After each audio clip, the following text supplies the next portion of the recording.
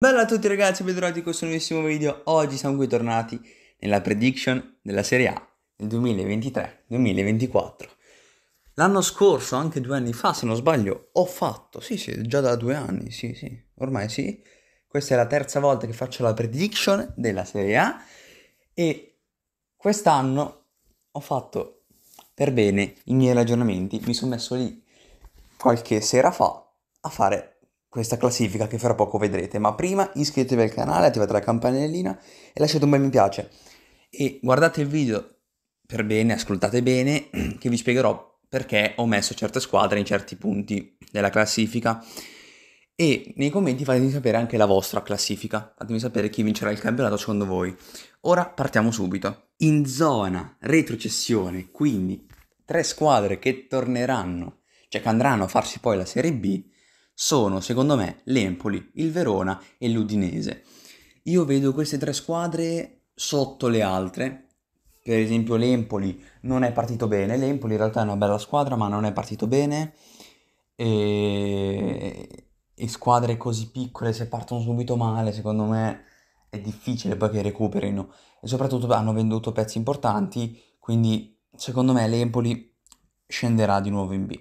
Il Verona, regà, allora, non sta facendo malissimo, ha già fatto tipo 6 punti se non sbaglio. Però, regà, sinceramente non è una squadra che mi piace. Mi sono guardato bene la squadra. In realtà alcuni giocatori, anzi forse uno o due, li ho anche al Fanta, tra l'altro. Però, regà, boh, non, non, mi piace a me Verona come squadra. Hanno venduto molti giocatori, tipo cos'era, nel 2021, due anni fa, avevano una bella squadra, che erano arrivati ottavi in campionato, che avevano Caprari, Simeone, avevano una bella squadra, però hanno venduto, hanno venduto tutti e non hanno comprato nessuno. Quindi il Verona secondo me scenderà e anche l'Udinese, perché l'Udinese non mi piace come squadra, hanno venduto anche loro dei pezzi importanti tipo Beto, c'è ancora il solito Deulofeo che sicuramente farà bene, l'anno scorso mi ricordo che erano in zona Champions fino a cioè per il primo mese, i primi due se non sbaglio, per le prime giornate erano in zona Champions, quindi comunque facevano un bel po' di, un bel po di punti. Però boh, mm, anche l'Udinese non mi piace. Io vedo il Frosinone messo meglio, hanno fatto degli acquisti molto interessanti. Hanno preso Caio George, Caio Org, come cacchio si chiama, Sule della Juve, Ocoli dell'Atalanta. Hanno preso anche altri giocatori tipo, come si chiama? Ibrahimovic del Bayern Monaco sì, raga, c'è un, uno che si chiama Ibrahimovic, non so se è tipo il figlio, non, non, non credo, è tedesco, quindi non credo. Però hanno preso dei giocatori interessanti, vediamo se si, sarà, si sapranno esprimere. Quindi il Frosinone secondo me si salverà. Queste sono le tre squadre che secondo me scenderanno in Serie B. A lottare per la Conference League, quindi per il settimo posto, saranno loro tre. La Fiorentina, il Monza e la Roma. Vi spiego perché. Quindi la classifica quest'anno, a differenza degli altri anni dove facevo tutte le posizioni de- de- della classifica, quest'anno ho voluto cambiare. Dopo vedrete la classifica intera. Ho messo tre zone di retrocessione e poi i primi sette posti, che sono quelli che alla fine ci interessano a tutti, perché alla fine stai a metà classifica, bene, però niente di che. Secondo me a lottare per la conference saranno loro tre, la Roma, la Fiorentina e il Monza, perché? Il Monza ha una bella squadra, ha una bella squadra, la Fiorentina anche, però la Fiorentina, partiamo dalla Fiorentina, la Fiorentina secondo me, siccome la, per, la, per la squalifica della Juventus, la Fiorentina si rigiocherà la conference. Ha passato il turno preliminare in teoria, quindi sì sì, l'ha passato, quindi andrà a giocarsi la conference. Non sono, cioè, sono tutte squadre molto abbordabili, bisognerà poi vedere, se non sbaglio dall'Europa si scende in conference, no? In teoria sì, quindi poi bisognerà capire, però, raga, la Fiorentina come l'anno scorso è arrivata in finale, tranquillamente può farlo anche stavolta. Ma come avete visto, arrivare in finale in conference vuol dire perdere un po' di punti in campionato. Ecco perché la Fiorentina, secondo me, proverà a lottare per il posto in conference. Io fossi la Fiorentina, proverei a lottare per tutte e due. Se poi vedo che in campionato non riesco, punterei tutto sulla conference. Perché, raga, eh, sul campionato è difficile. La conference è già più fattibile. Il Monza ha una bella squadra, ha un'ottima squadra, idem per la Roma. Cioè, raga, il Monza comunque si è potenziato molto, ha, una, ha un'ottima squadra e, mm, perché comunque ha preso giocatori di, mm, di esperienza come Gagliardini D'Ambrosio, hanno preso Lorenzo Colombo là davanti che secondo me farà molto bene, ha fatto bene l'anno scorso a Lecce, quindi secondo me faranno, faranno bene. Poi c'è Colpani, raga, che sta giocando benissimo, mamma mia. Poi hanno fatto anche altri acquisti, quindi comunque è una buona squadra, secondo me può lottare. L'anno scorso sono arrivati ottavi, non vedo perché quest'anno non possano arrivare settimi. Può tranquillamente lottare la, il Monza per un posto in conference, anzi, secondo me lotterà e sarà anche favorita rispetto magari alla Fiorentina perché la Fiorentina gioca la conference, il Monza no. Quindi ha meno energie da spendere. Quindi risparmia energie. La Roma, idem. La Roma l'anno scorso io l'ho messa quarta. Secondo me pure, cioè nel senso nella classifica non l'ho messa quarta, ma secondo me pure la Roma è da quarto posto. Guardate che squadra. Hanno una difesa molto bella con Smalling, Mancini e Indica, che poi può giocare Llorente, Indica. Hanno comprato Paredes, Aguar e Renato Sanchez a centrocampo che secondo me sono ottimi giocatori se non si facessero sempre male. Là davanti, raga, Lukaku. Cioè, il colpo Champions, però il colpo Champions, lo dicevamo anche l'anno scorso con Dybala, io simpatizzo alla Roma, quindi non, non potete dire che, che, l'ho messa qua perché mi sta sulle palle. Ah, io la simpatizzo anche, mi piacerebbe che vada in Champions, però raga, secondo me ha l'Europa League la Roma. Secondo me, raga, la Roma spenderà tante, anzi troppe energie nell'Europa, che è una cosa buona se la vincono, però devono vincerla, non come l'anno scorso mi dispiace, però è, è andata così. E secondo me la Roma arriverà settima barra sesta, però può vincere tranquillamente l'Europa League. Secondo me è così, quindi io firmerei, fossi la Roma adesso, per arrivare settimi, però vincere, vincere l'Europa League. Sinceramente ci può stare, anche se preferirei arrivare magari un po' più in avanti, però vabbè, i primi, anzi i primi, sì, col cavolo, i due posti in Europa League sono occupati dalla Lazio e dalla Juventus, quindi la Lazio al sesto posto e la Juventus al quinto. Questa è la mia scelta che ho fatto, quindi Lazio e Juve fuori dalla Champions League. Allora, la Juventus non si è rinforzata, anzi, non ha fatto acquisti praticamente, se non sbaglio ha preso solo Tim- Timothy Weah che è un ottimo giocatore, l'ho visto giocare molto forte, però mm, solo lui mi sarei aspettato qualcos'altro, però vabbè. In più, Pogba si è fatto anche male già adesso, ho letto, si è già fatto male. Sì, c'è Dusan e Chiesa, io li adoro Dusan e Chiesa, però raga, mm, non so se la Juve arriverà in Champions solo con Dusan e Federico Chiesa perché la squadra non la vedo al top del top del top, però boh, vedremo, vedremo. Secondo me la Juve dopo un ottavo posto, che per realtà sarebbe stato terzo, quarto, boh, non mi ricordo, comunque non benissimo, anzi, quest'anno farà meglio, però la metto qui. La Lazio, la Lazio invece ha fatto un ottimo mercato, perché ha fatto un ottimo mercato, perché ha comprato Kamada che ha già fatto gol, Guendouzi pure, Guendouzi ha fatto tipo assist e poi il gol è stato annullato e anche, ha fatto anche gol che è stato annullato all'andata, proprio al, all'esordio. Quindi tanta roba. Hanno preso anche Rovella, ottimo giocatore secondo me molto forte.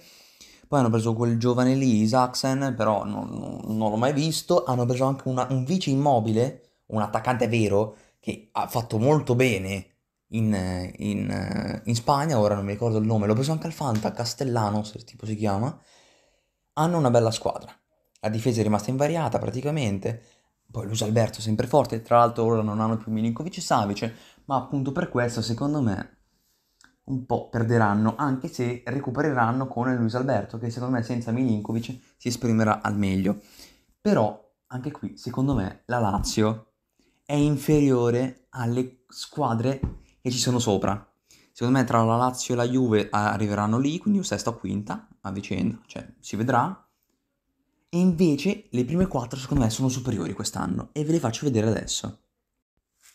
Perché al quarto e al terzo posto troviamo l'Atalanta e il Napoli. quarto posto per l'Atalanta e terzo posto per il Napoli, campione d'Italia. Allora, qui bisogna fermarci, soffermarci un attimo perché io credo che l'Atalanta quest'anno abbia fatto degli ottimi acquisti, è da un po', è da quanti anni? Tre? Almeno uno, due sicuro, anche tre se non sbaglio, è da almeno tre, sì, da tre anni o anche di più che l'Atalanta non va in Champions. E hanno fatto degli ottimi acquisti perché hanno speso molto, hanno comprato Scamacca che secondo me l'Atalanta farà molto molto bene, ha già fatto dei gol, De Ketler che anche lui l'hanno preso in prestito se non sbaglio, ma De Ketler è fortissimo raga, cioè perché prima di andare al Milan tutto il mondo lo voleva, non è possibile che è un bidone, al Milan non si è trovato bene, mi dispiace perché mi sarebbe piaciuto vederlo esprimersi bene anche al Milan, però vabbè, sono contento che si trova bene, almeno sembra che si trovi bene all'Atalanta, Gasperini lo apprezza molto. Poi hanno preso anche altri giocatori, Kola Sinak di, che è molto esperto, comunque ex Arsenal, ha giocato anche l'Europa, la Champions, sicuro le ha giocate. E hanno preso anche in attacco, hanno preso anche, come si chiama? Bill, no, non me lo ricordo. Touré comunque, l'attaccante, quello giovane, che hanno pagato un botto, 33 milioni tipo. Si è già rotto purtroppo, vabbè. Però hanno un'ottima squadra, giocano bene e mi piace, mi piace. E quindi secondo me, raga, l'Atalanta quest'anno tornerà in Champions.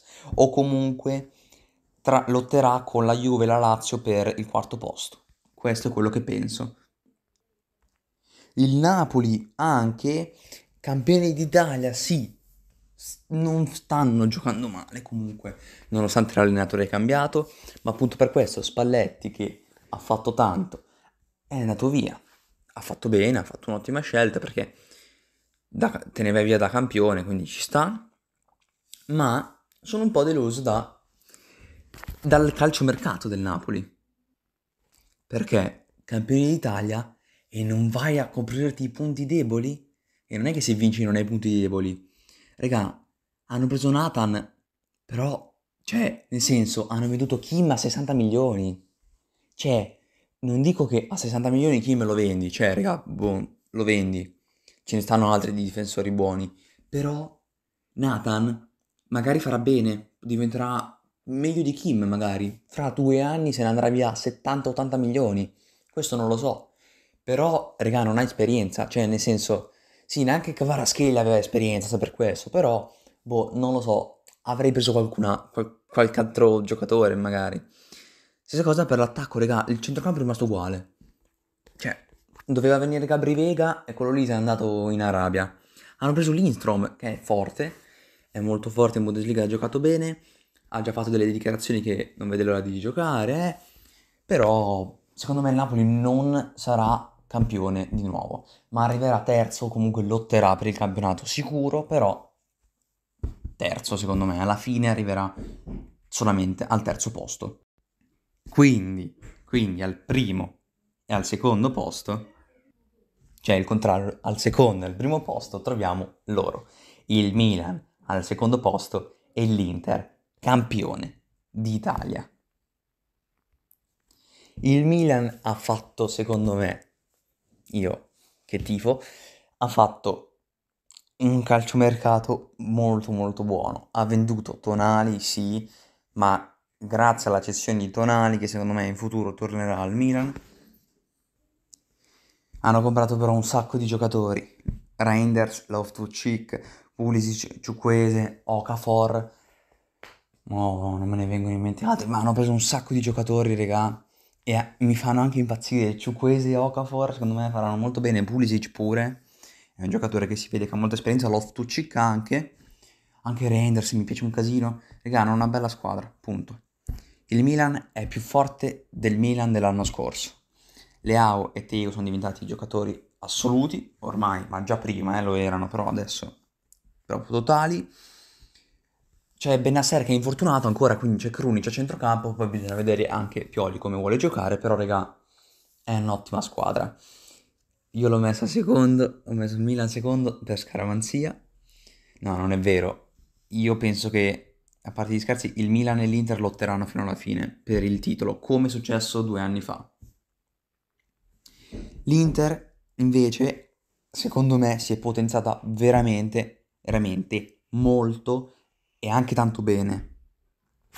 Perché va via Onana, secondo me è un portiere molto forte Onana, chi viene? Viene Sommer, un portiere di esperienza mondiale, internazionale, vabbè internazionale, cioè comunque sì, e cavolo, Sommer è forte, raga. Viene Pavard, Pavard, raga, si è vinto tutto col Bayern Monaco, ha vinto tutto Champions League, ha un'esperienza molto molto importante e tra l'altro adesso avrà la titolarità, quindi giocherà molto e quindi secondo me si esprimerà molto bene. C'è Bastoni che migliora sempre, c'è Acerbi ancora. Ecco Acerbi magari avrei preso un altro difensore, però vabbè. Hanno preso Quadrado, comunque non te le gioca tutte, ma è un ottimo giocatore. Hanno preso anche Klassen, che all'ultimo secondo di mercato praticamente l'hanno preso.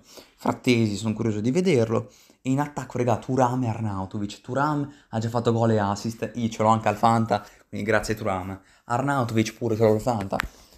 Quindi, Arna, se vuoi fare un po' di gol, mi fai un favore. Ricordiamo che finalista di Champions.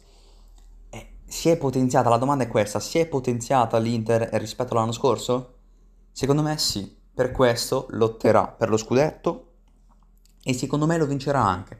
Tra l'altro tra qualche giorno c'è il derby e sono tutte e due, sia Milan che Inter sono a pari punti, quindi questi tre punti saranno importanti. Magari un pareggio, chi lo sa, un pareggio ci starebbe. Cioè, spero che non vinca l'Inter e basta, questo.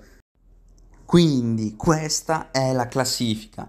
In zona conference, una di queste tre, Europa, Lazio, Juventus, Champions League, Atalanta, Napoli, Milan e campione d'Italia, l'Inter. Questa è la mia prediction per questo campionato. Fatemi sapere la vostra qua sotto nei commenti. Iscrivetevi al canale, attivate la campanellina, quest'anno ci saranno altri video sul calcio anche, non solo su FIFA, ma anche in generale sulla Serie A e sul calcio in generale. Quindi attivate la campanella, fatemi sapere secondo voi che squadra vincerà il titolo, fatemi anche la vostra classifica se volete. Bella sta classifica, mi piace, mi piace, sì, mi piace. Sono son contento di questa prediction. Tra l'altro, se azzecco, cioè perché se, se l'Inter vince, ho azzeccato il pronostico, quindi ok. Se perde e vince il Milan, sono felice. Quindi in tutti e due i casi vinco. Quindi tanta roba, iscrivetevi, ci vediamo con un prossimo video. Bella!